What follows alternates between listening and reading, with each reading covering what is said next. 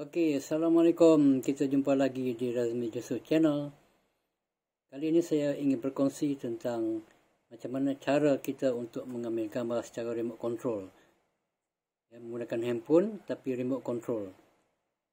Okey, yang pertama kita kena beli set remote control ni. Harga murah je, dalam RM5. Okey, dan uh, remote control ni uh, untuk Android dan juga untuk iOS eh, untuk iPhone. So, bila sudah beli, kita on switch ini akan keluar akan keluar uh, indikator eh, lampu LED. Okey, itu belum boleh ambil lagi.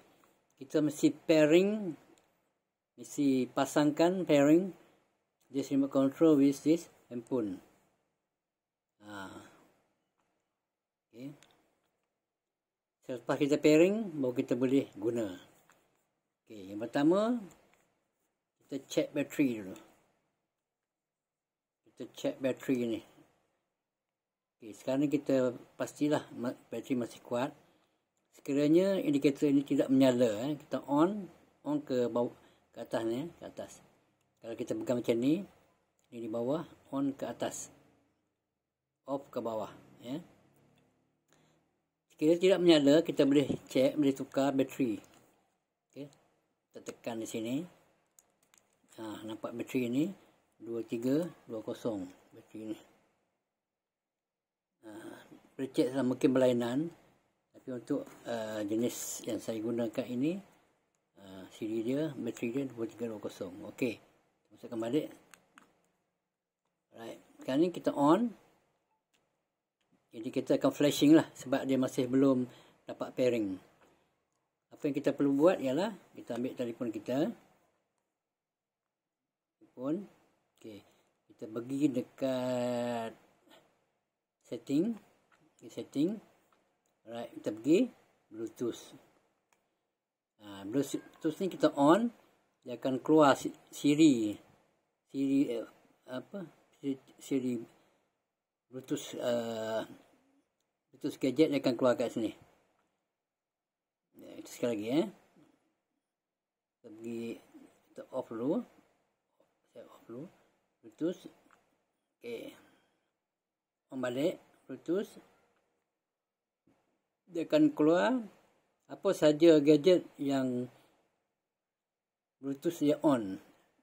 Contohnya kat sini LT719 ni uh, Bluetooth pada jam eh, smartwatch. V8 ni Bluetooth pada audio mixer.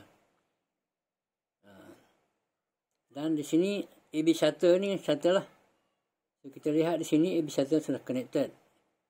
Eh, dan kita boleh ampere balik lah. Saya ampere balik. Okay. Bila kita search for the Bluetooth gadget, akan keluar AB shutter V8 dan sebagainya lah. Alright, apa kita eh, ambil? Kita ambil AB shutter. Okay, nama dia ni AB shutter. Mungkin nama berlainan, mungkin nama control yang kawan-kawan beli tu berlainan. Right. Sekarang ni kita AB shutter, kita pairing AB shutter dengan dengan ni. Dengan remote control. Okay, connected. Ha, sekarang kita boleh guna dah. Jadi kita nampak ah flashing dah tak ada dah. Flashing dah hilang dan kita boleh guna. Okey, kita try.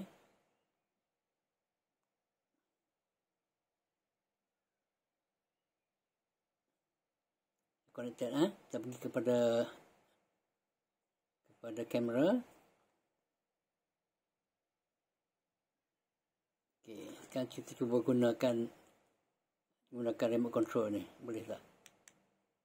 Ah, okey. Nampak. Ah. Itu saja senang saja. Okey, selepas kita guna sebab kita mungkin gunakan Bluetooth untuk benda lain. Ya. So, kita boleh off balik, kita pergi balik kepada setting. Apa kita perlu buat? Bluetooth. Sorry, Wi-Fi. Bluetooth. Okey, Bluetooth. Kita masuk AB shutter ni, kita ampere balik balik dan kita off bluetooth itu saja. Jadi tak ada lagi pairing dengan remote control ni. So semua kita boleh off lah. Kalau kita tidak off pun dia akan automatic off lah. Ah, dalam few second dia akan off sendiri untuk menjimatkan bateri.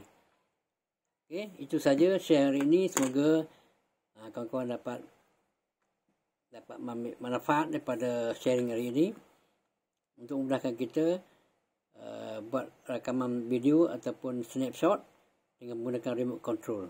Okey, sekian. Terima kasih.